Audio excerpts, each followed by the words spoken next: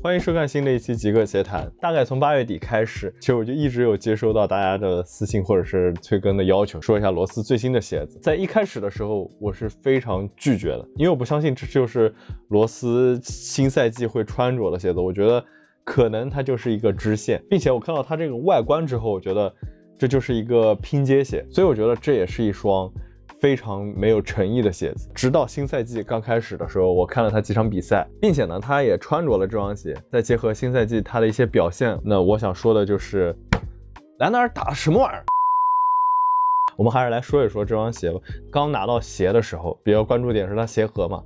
你别说，大概从它九代开始，那个鞋盒已经变成那种所谓的环保鞋盒了。然后来到了它的最新一代，这双鞋盒竟然是一个签名的鞋盒。首先就是它正面。有一个螺丝标志，对吧？然后这一圈有非常多的这种线，然后聚集到中间。后面这里有一个风尘之子，然后再看到正面，除了阿迪达斯标志之外，这里有一个螺丝风尘之子、阿迪达斯篮球玫瑰的标志。突然一改风格了，让我有些难以接受。甚至它的衬纸都是玫瑰和阿迪达斯的 logo。别的球星的鞋子实在是卖不出去了，想靠螺丝走量，是不是这个意思？然后呢，再回到。这双鞋上面，其实我穿了这双鞋很长时间了，大概九月底断断续续一直穿到现在。比较熟悉罗斯球鞋的人，应该就是一眼看出来，鞋前头这一片是致敬罗斯一点五鞋的外底是致敬罗斯的。第四代，它的鞋后跟这块又有点像罗斯十一，一个非常具有拼接感的球星签名鞋。那这双鞋的感觉很像是乔丹出过一双 Six Rings 夺冠的那几双鞋拼接出来的一双鞋。你不知道他怎么想的，反正我是没见过那双鞋有人穿。鞋前头这块用了一些比较普通的合成革，然后鞋两侧这边一共有十二道。杠原本可能就是罗斯的第十二代，鞋中部这块就是大面积的这种透气网纱材料，然后整个鞋带呢也是比较平庸的一个处理方式，鞋带绑定其实并没有那么的灵活，然后再看到它的鞋帮这侧有螺丝的名字，然后另外一边比较浅显的三道杠，后跟的这一块呢就是一个很大面积的外置的 TPU。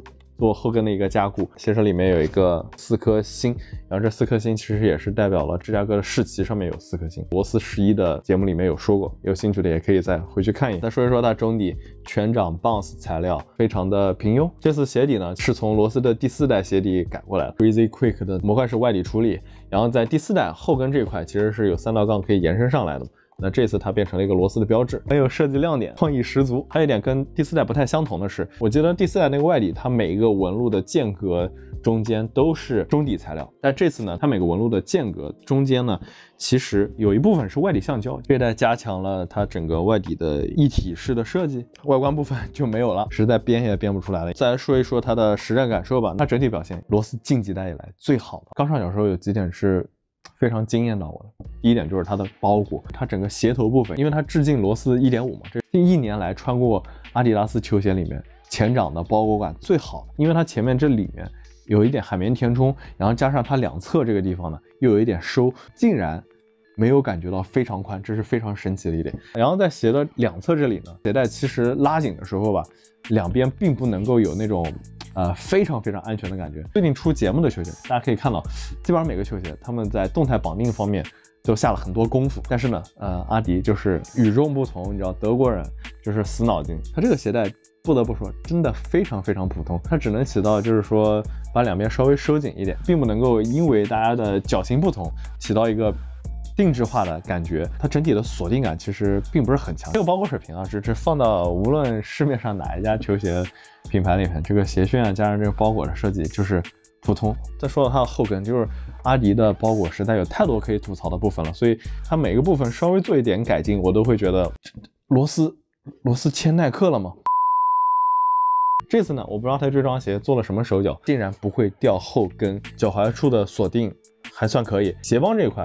呃，是有一定海绵填充的，不是很厚。最上面这个鞋带孔和鞋跟的这个距离其实也不是很远，它其实是能够起到一定这种锁定的效果。鞋楦也非常适中，这是一个非常难得的情况。因为我对罗斯第四代印象非常好，它除了有一点就是卡脚背，这双鞋如果完美解决了卡脚背的情况，那这双鞋不得。但它包裹还有一个小问题，就在于上端这两个鞋带孔其实离得比较近嘛。然后我看罗斯自己，它其实是会少系一个结，可能他自己也觉得不太舒服。鞋帮处的最下面鞋带的孔和鞋带扣的离得实在是太近了，再加上这上面三个鞋带孔一系的时候，那个线其实会非常密集，就使得你脚背不舒服。在穿着过程中，甚至把我的右脚给穿伤了。当然，这有可能只是我个人的现象。那鞋舌的这个包边是比较硬的，它的鞋舌呢其实是有两块材料拼接的，在拼接的交汇处，它这个材料很硬，然后再加上它鞋帮拐角也是硬的，这两个硬的东西接触在一块，然后你再把鞋带一系紧，我脚的这个位置，你脚踝骨斜上方会特别痛，而且这里有根筋，我觉得我已经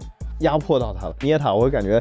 脚掌有一块筋是麻的，但很奇怪的是，我左脚并没有遇到这个问题，也就算是一个小的缺点，跟大家先提前说明了。还有问题就是它鞋帮处，其实你可以看它的曲线是有点往。往内收的，对吧？这个鞋帮在我刚穿上的时候会有点卡跟腱，但是又是非常神奇的一点，穿完第一天之后，第二天再穿，它竟然不卡了。有可能是我自己适应了，所以它包裹在鞋帮最上面这个这一圈会有一点小的问题，当然也是看每个人脚型的问题了。说一说它的鞋面支撑，其实这双鞋鞋面支撑还是很优秀的。然后它外侧这里呢有一点点的材料上翻，继承罗斯一点五代的这个合成革材料其实是 OK 的。侧边这个网纱材料，前掌这些地方都是打了枣的，也就是这些地方其实是做了一个加。固这些缝线看似随意摆放上去了，但实际上也是经过深思熟虑的。然后后跟呢，港宝也非常硬，外加这一片有外置 TPU 和中底材料的上翻，所以整个侧面的支撑其实是比较够用的。顺势再说一下它的防侧翻，那这双鞋防侧翻其实是一个非常优秀的水平，甚至有点像汤姆森签名鞋的感觉。虽然它是一个顶级的后卫的签名鞋，就按照这几年趋势发展，你多多少少前掌你得做一个。这个圆弧设计嘛，有助于你启动嘛。这双鞋圆弧的设计简直是可怜，就是一点点的角度，甚至还不如我预帅十五的那个弧度，你知道？再说呢，就是顶级后卫两侧这边，哎，稍微给我来点角度，对吧？我可以变变相什么的。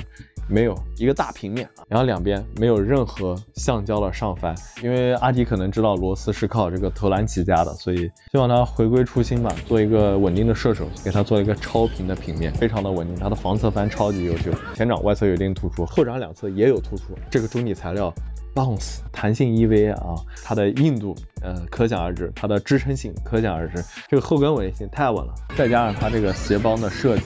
其实对你脚踝也是有一定支撑，所以在防侧翻的这一项，我觉得没有什么好说的。说到现在，感觉它这些基本要素和安全性其实都很过关，对吧？这也是为什么我觉得这双鞋觉得很惊喜啊！除了把我脚给穿伤了之外啊，说到现在也得说一说它的缺点，就是它是一个双刃剑的感觉，就是它整个中底加外底，就是这双鞋其实最让人劝退的地方。中底 bounce 全掌一体化的感觉非常好，呃，脚感没有差别，前掌贴地感也比较足。啊，后掌呢？我觉得对于我来说刚刚够用，稍微大体重一点，或者是那种钢炮型球员，我可能觉得这后跟的材料没准会有一些不太够用。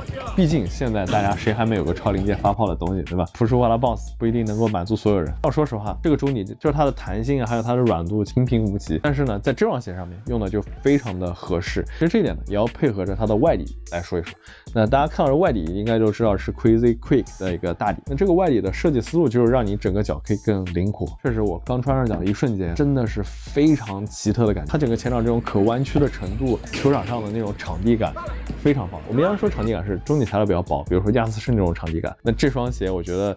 和亚瑟士感觉很不一样的点在于，它前掌给你弯曲的空间更大，每个肌肉都得到了释放的感觉，而且你可以维持这个动作。现在很多球鞋需要有一定的弹射感，但是呢，它又要找一个应力释放点，所以它会特意在前掌做一个小的开槽，力就在这释放。这双鞋前掌每个槽都可以作为你应力释放的点，所以在打球的时候，甚至我感觉我的重心都压得更低了，因为我整个脚可以压得更夸张。但同时，这双鞋的这个中底。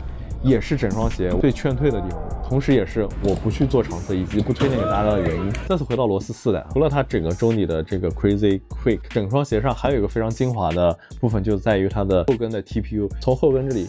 一直延伸到了它中足，它整个中部的抗扭是得到保证的。那这双鞋有几次打球的时候，整个人状态非常好的蹬地加速的时候，我是能够感觉到我足弓那块是空的，虽然不是一个拉扯的情况，倒也没有到你拉扯脚筋的部分。回来的时候我就试了扭了一下这双鞋，虽然它第一个释放的点是在这儿，但是呢，你再稍微用点劲，你可以看到中足这里也是可以。掰得动，其实这是一个非常可惜的点。其实我内心不太相信这件事情。阿迪虽然做球鞋很拉胯，但有一说一，德国人就是非常固执，但是又非常严谨。然后我就拿手去摁了一下。它这个中底其实可以摸到它中足这块是有一块 TPU 的，但这块 TPU 呢并不是很大很异形的一个 TPU，可能就是中足一小块 TPU 片，所以它整体的强度再加上它中足这块其实也是有切割槽的，所以也是给你做了一些 应力释放点，特别是在你打的比较激烈的时候，真的会有比较明显的感觉，所以这双鞋真的很可惜，不能够推荐给大家，因为它确实是有一定硬伤。不过说实话，又因为这个外底加上这个中底，以及它一些鞋面上的偷工减料，你知道，就用的不是好材料嘛，这双鞋的重量比较可观的一个成绩，甚至比罗斯十一还要更轻。你让号称有 RD Zero 的罗斯十一老脸往哪搁？但这双鞋呢，其实我觉得可以作为一双啊训练鞋，因为它的外底我觉得。啊，耐磨度还算是 OK 了。